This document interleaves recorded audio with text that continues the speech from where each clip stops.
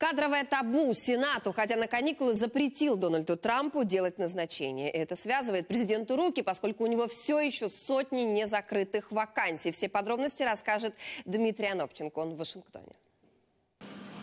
В Белом доме уже потирали руки. Дескать, Сенат на каникулах до сентября, и за это время столько всего можно успеть.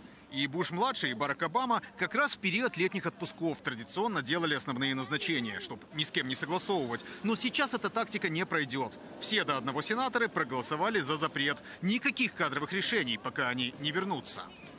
При этом здесь еще и на хитрость пошли. В августе проведут 9 сессий всего лишь по несколько минут, по сути, открывая и сразу закрывая заседание. Но с точки зрения закона это выглядит так, что Сенат работает, а значит, нечего своевольничать. А с кадрами у новой администрации беда. Одобрение Конгресса Трампу требуется более чем по тысяче позиций. Большинство ключевых чиновников в стране до сих пор с приставкой ИО что в Госдепе, что в Пентагоне, что в других ключевых министерствах, лишь исполняют обязанности. Ведь их назначение должен согласовать Сенат, а там, подчеркнуто, не спешат.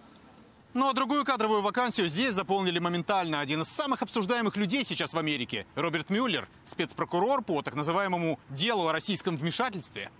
Чиновник настолько рьяно взялся за работу, что конгрессмены даже закон готовят, запрещающий Дональду Трампу его увольнять. Мюллер сейчас и так называемое большое жюри созывает, позволяющее требовать документы и вызывать свидетелей, и действовать стал решительнее и активнее. Но в Белом доме заявили об увольнении спецпрокурора и не думают, дескать, сами заинтересованы, чтобы он побыстрее закончил работу, опасаться им нечего. Так ли это? Станет известно уже в течение нескольких ближайших месяцев. В этот срок от Мюллера ожидают первых выводов. Из Вашингтона Дмитрий Анопченко, Сергей Коваль, Американское бюро телеканала «Интер».